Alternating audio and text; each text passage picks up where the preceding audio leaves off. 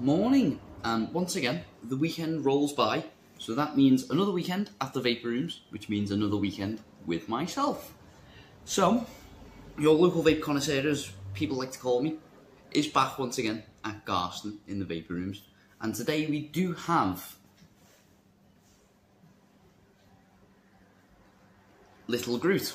Sorry about the dance, it's just what the Groot on our till does. But we've got Groot, aka Sean Cheshire. We've got him in our West Derby store in that direction today. And today, what I'm primar primarily here to talk to you about is uh, a few things. The usual checking up, seeing how everyone's doing. How's everyone doing, by the way? Good, good. Hope you're all doing good. Hope you're all enjoying that lovely weather outside.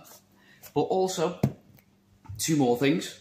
I will be discussing with you some very good options for sub-ohm tanks, your mouth-to-lung tanks, anything of the sort. But on top of that is just the general synopsis, really. Uh, probably, probably can think of a better word for it. But generally today, me and Sean in our respective stores today are both here to help you with any of your vaping needs today.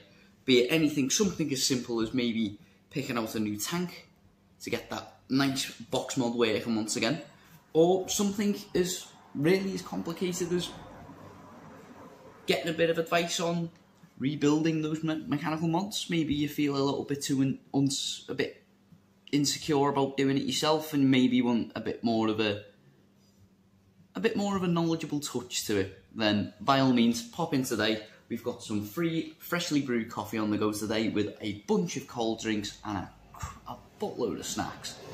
So, if you are looking to pop in today and grab yourself anything new, get some advice, get some rebuilds, grab yourself some coils, the daily essentials as we like to call them, then by all means come down. We are open till 7pm today. But nonetheless, on to our tank discussions. So, with every vape device, mine too especially, tanks. These things, the differences between them, what do they provide, so on and so forth. Well, as you can tell, there are a plethora of tanks out there, numerous, too many to count. But, we'll always start off with the basic, the nice and easy, and the starter friendly. So, the tank that I'm talking about today, right now, is the Aspire Nautilus 2. Now, this is basically just the reamped version, well, the reamped, the revamped version of the old Aspire Nautilus tanks. So, the old Aspire Nautilus BVC, the Aspire K3, so on and so forth. And as you can tell, it's a very shapy tank. It's got a bit of curvature to it, very nice looking, very basic. But that's all you'd really need from off the tank. You don't really need all that much more, to be honest. So, that's how you get into filling it. So this chamber section, which also does provide a lot of glass protection, does just screw off as standardly. And the glass can just pull off. And that is how you get to your coil on the inside. You can take that out, replace it if needs be. But a fairly basic mouth-to-lung tank that offers quite a few options. It does have adjustable airflow at the bottom, as you can see. So if you want a bit more of a very restrictive lung hit, you can open it wide open. But you can fine tune it for those mouth to lungs as well. So that is one of many mouth to lungs. Another one is one that I personally use, the Innokin Zenith tank. Now this is a bit more of your restrictive lung hit, as you can tell with it wide open you can get quite a bit of airflow coming through it. But much like the Nautilus 2, you can restrict it down. So as simple as just having one tiny hole there. Mouth to lung. But a very, yet again, simple tank.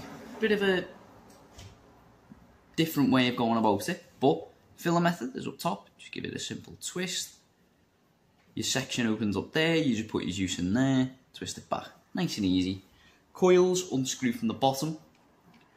So with this one, all you do is take your tank off, unscrew the airflow control piece, and you pull your coils out from there. Now I'm not going to pull mine out because then that means my juice is going to go everywhere. But now we are stepping into the realm of our sub-ohm tanks. So if you're looking for a sub-ohm tank that is fairly old school in its workings, but does have that modern touch, then I would personally recommend the EH Pro Raptor. Now this tank is incredible. So, utilises those mesh coils that we all know and love for that even heat distribution, no hot spots, no burning taste to it until it does eventually reach the end of its life. So you do get quite a bit of time on these things. So filler method, very simple. Slide to open, you pour it into there, slide it back. Coil changes just happen to any standard sub-ohm tank.